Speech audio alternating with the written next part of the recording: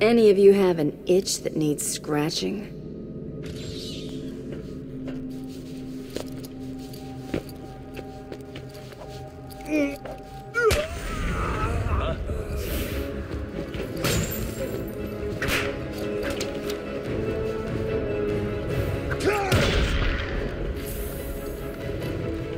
Huh?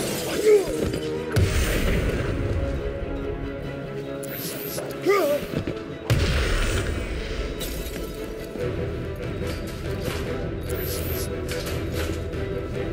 can leave.